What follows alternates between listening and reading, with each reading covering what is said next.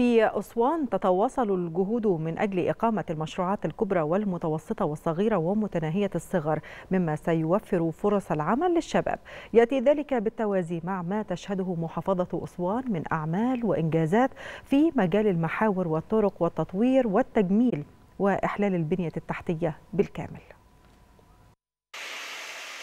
تتمتع محافظة أسوان بثروات تعدينية ومحجرية حيث تضم المحافظة نحو 63 محجرا للجرانيت والرخام والتي تعد من أهم المحاجر على مستوى الجمهورية لما تحتويه من خامات جرانيتية هامة بجانب 17 محجرا رمليا. وهذه الثروات التي حبى الله بها أسوان يمكنها النهوض بالمستوى الاقتصادي والاجتماعي للمحافظة وخلق المزيد من فرص العمل لأبناء المحافظة حيث يوجد كم كبير من المحاجر الجرانيتية والتعدينية التي تزخر بها المحافظة تحتاج إلى استثمارها بالشكل الأمثل الأمثل من أجل إقامة صرح صناعي للصناعات القائمة على المحاجر والجرانيت. اولا إحنا عندنا يعني في أسوان بتزخر فيها بشتى أنواع الجرانيت المختلف اللي بيتم فيه عنده خواص ممتازة نفسها بالنسبة لتكفير إنتاج السوق المحلي وبالإضافة إلى تغذية يمكن الإمكانية بتاعه تصديرها.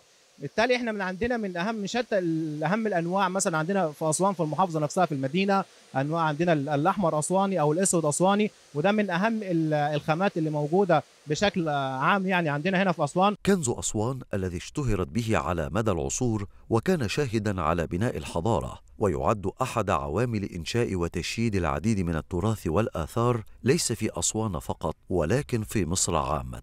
إحنا هنا في المصنع بنقوم بعدة مراحل باستخراج الحجر من المحاجر ثم يأتينا إلى المصنع. نقوم بتقطيعه وتلميعه وبعد كده تجهيزه للسوق المحلي وللتصدير الشغل بيجينا من على المنشار يكون حجر بيتقطع.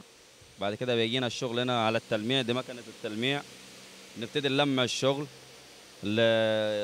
معانا الخامه بتطلع جودة حلوة خالص يعني. محافظة أسوان تمتلك كافة المقومات التي تؤهلها لتكون مركزا تصنيعيا للعديد من الأنشطة الصناعية وبصفة خاصة الصناعات التعدينية في ظل توافر العديد من الخامات والمواد الأولية والمحجرية وهو ما يزيد من القيمة المضافة لهذه الخامات فضلا عن العمالة الفنية والقوى البشرية القادرة على تلبية احتياجات القطاعات الصناعية.